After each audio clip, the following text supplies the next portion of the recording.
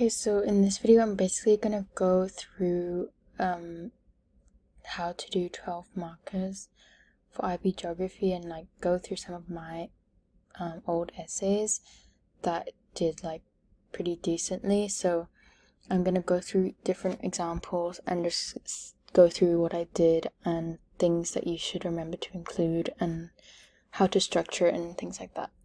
So this is a 12 marker that I did about tran transboundary pollution and this got 12 out of 12. Um, and okay, so I'm just gonna run through what I did. So before writing the essay, obviously you kind of learn about the topic and revise it um, from your notes. So I had all my notes and um, in the notes usually you'll have like your case studies for the topic because usually a 12 marker will need reference to some sort of case study and examples. So make sure your notes are very clear and detailed with like facts like dates and examples, places um, to kind of give, whoops, to give um, like extra points and detail for your paragraphs. Okay, so the question here was analyze the consequences of one specific transboundary pollution event. So um, I chose to do the Southeast Asian haze. And so basically, I'll go over the first paragraph. So in the first paragraph, basically, I always make sure to define the key term. So the key term here was just transboundary pollution. So I um, defined that and then I kind of gave some details um, and then I went into the one that I was going to discuss um, and explained a bit about that and where it happened and what caused it. Because make sure that um, the causes. Okay, so obviously when you learn about something, your the causes and consequences are both really important. But this essay focuses on focuses on the consequences. So I just kind of give a brief um, sentence about the causes of it, but that was not like concerned in the rest of the essay, but it was just good background to have. And the consequences, I saved that for the rest of the essay. So yeah, so I'm giving background here about the event, and then um, I go on to say what I'm going to discuss in the essay. So it's good to kind of have a sentence like this that like says what your the rest of the essay is and maybe like split it up into different sections um, and it really depends on the question, but here, because it was consequences, I could quite easily split that up into social, economic, environmental, and political. Um, and that just makes it kind of easier for you because when you're planning each paragraph, you just like group everything together and everything like flows nicely. Um, and also you're kind of getting to have a broader discussion because you're you know that you're addressing all of these different areas. Um, but some cases in some essays this might not be um, appropriate to the question. Okay, so then I move on to each paragraph. So this is the social impacts.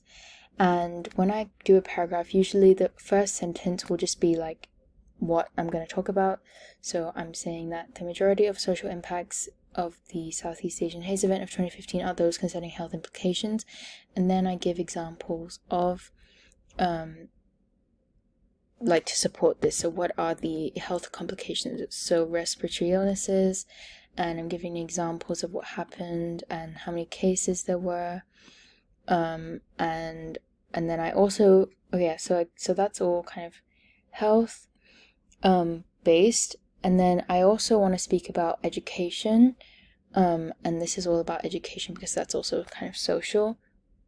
Um, I didn't really specifically say there's also education issues, but that could be good to kind of just have a sentence right here saying I'm going to talk about education. Um, but I mean, this is okay because I'm saying also, so it's like an additional point. It's not just randomly mentioning things about the loss of school days. Um, and then to summarize, I just um, kind of make a sentence that summarizes that there are social consequences um, and making sure as well that because it is a 12 marker, you don't need to be evaluating or making um, like comparisons really. You're just kind of giving um, an outline and a bit of detail about what rather than what and why and how but not really you're not really evaluating or comparing anything um, so I can literally just summarize that paragraph easily without having to make any type of judgment really. Um, and then yeah and then I move on to the economic consequences. So kind of the same thing. Um, I say regarding the economic consequences. So I'm saying this is all about economic and then I'm going into all the different evidence that I have and the impacts of um, what's happening, the impacts of the Southeast Asian haze, um, and yeah, just giving like some detail into that. And also another thing is when you're in an exam um, condition, in exam conditions, it's kind of difficult to really like plan your essay perfectly because you are like in time conditions and everything. So one thing to get I kind of got into the habit of was just making sure like to always state what you're going to talk about and then in each one try to like make the first sentence quite clear um just to make sure that you it sounds like still it still it still it still sounds quite structured um in each paragraph. Um, and that's something easy to just put in there like in the first sentence just so you have that like key like first opening sentence of each thing. Okay then i have another paragraph about environmental consequences um, again examples and everything. Um, yeah and then finally it's also good to use words like finally or moreover next like just connective or what are they called? Connectives? Yeah connectives. Or like opener words to like um, give it more structure. Because here when I say finally it's like then the reader knows this is the last point um, and then it will be the conclusion. So I go over the political consequences and more examples are here um, and then I summarize that by saying it's causing political consequences so it's not a very like evaluative essay, obviously. You're just kind of saying what you know and you're saying you're always linking to the question. Like that's the key thing. Just making sure all your evidence is just proving your point to the question. So after you've done all that and you've done your main paragraphs, then you go on to the conclusion, and the conclusion really only needs to be a few sentences. Um, so here I just say overall, it can be realized that transboundary pollution event of 2015 in Southeast Asia evoked a plethora of social, economic, environmental, and political consequences to different degrees and scales across various regions throughout the region. So just saying like, um, because the question is analyze the consequences. So I'm saying that there are lots of different types of consequences and they're all kind of working at different degrees in scale, obviously, because in diff uh, this is Southeast Asia, so it's concerning a lot of countries, so not everywhere is going to be impacted to the same degree, and um, they have different methods to deal with it. So, yeah. And then I said, nevertheless, all countries were impacted in some manner, thus, all countries would need to be involved in the decision making process to manage this detrimental and multifaceted event. So, basically, just stating like what you've shown from your discussion. So, from my discussion, I said the social, economic, um, environmental, political. So, I'm saying that there's like a lot of different factors and it, it's happening in a lot of different places around Southeast Asia. So, they're all different, but nevertheless, they all need to be involved in the um, kind of management schemes. Um, yeah, okay.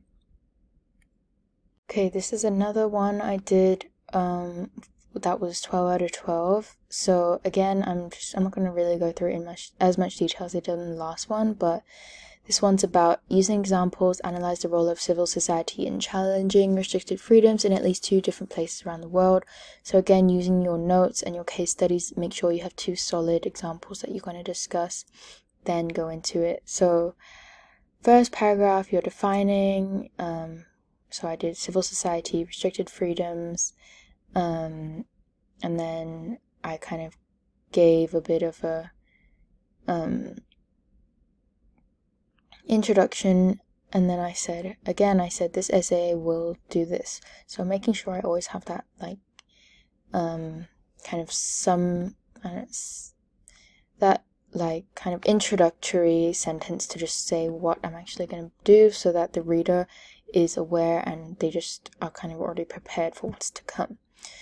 Okay, rather than like me just jumping straight into it. So it's good to have a bit of a build up before you jump into your evidence. Okay, so then I'm going into each of my examples. So here I did Hong Kong um, Umbrella Revolution, and then here I did the um, Malala Fund. So I'm basically answering the question by just outlining what happened in both places because it just is saying analyze the role of civil society. So I'm basically outlining what happened, but and I'm always making sure to link that to the idea of civil society because if I just said what happened, that wouldn't necessarily answer the question. So I'm going through the history, kind of background, just to give an idea, but not too much detail, just like a simple, easy to understand history of the protests. Um, and then I'm going into civil society and how civil society in this case were frustrated um, because of the kind of lack of demo- democratic ideals. And then I'm saying, what did civil society do to deal with this? So, protests, what were the results of this? Um, and yeah, just linking it to civil society. And then that kind of ends by saying, nice conclusion sentence. Thus, Hong Kong provides a significant example of civil society challenging their restricted freedoms, as it has evidently led to a larger global movement compared to the initial national movement it was. So, basically, answering the question fully, and then I'm moving on to um, the Malala Fund, and I'm doing the same thing. So, a bit of background, and then I'm saying things about civil society. I'm talking about social media and the international community and what happened, what did people do, and what organizations were created and involved, what this did, what were the results of that, and then I again end it by saying that it's a, a good example of this um, idea of challenging restricted freedoms that has gained global attention, and then I do my conclusion.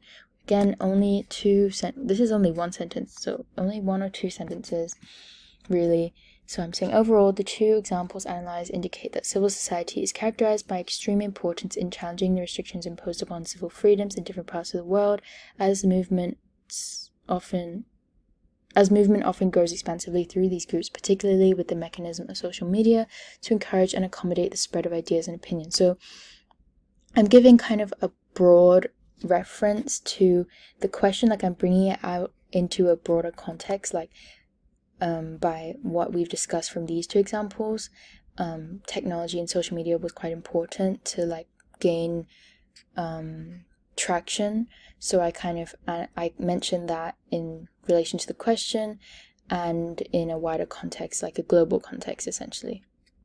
Okay, this is the final one about affirmative action and closing the development gap. So again, defining, defining, defining, giving a bit of background to the ideas um, and then I'm saying, what am I going to discuss?